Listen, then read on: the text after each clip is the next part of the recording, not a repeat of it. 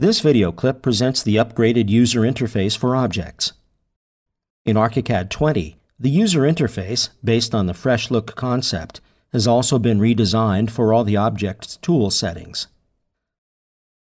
Let's see some typical changes by comparing one of the chair objects side by side with ArchiCAD 19 on the left side of the screen and ArchiCAD 20 on the right. The name of the selected object appears in bold at the top of the dialog. Icons are now also vector-based. Headers fonts of the panels are now in capital letters.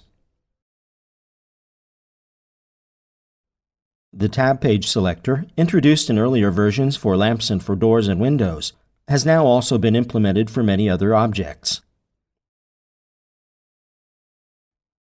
Duplicate settings in parameter list and graphical interface have been eliminated.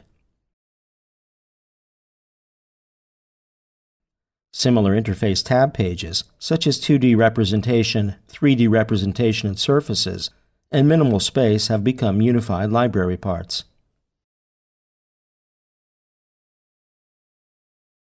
These interface improvements can be found in all the library parts of furnishing building structures, RoofMaker library objects, doors, and windows folders. Interface improvements have been implemented in some elements in the building structures, special constructions, and mechanical folders as well. The Tags and Categories panel has been renamed to Categories and Properties. The first few properties have been grouped below the ID and Categories section. Element classification has been moved directly below the panel's header. Classifying the elements is very important for IFC communication.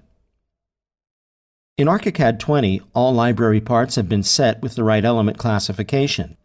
Let's see some examples for Windows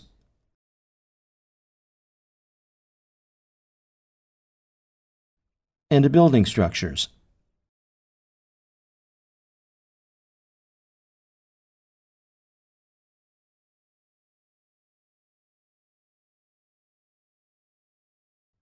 The Categories and Properties panel has been extended with new object-specific sections, such as General Ratings, Product Info, Manufacturing, and Floorings.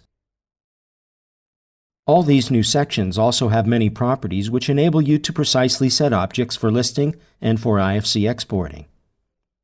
An enhanced and more sophisticated user interface of the object settings helps you set library parts easily during your daily BIM practices.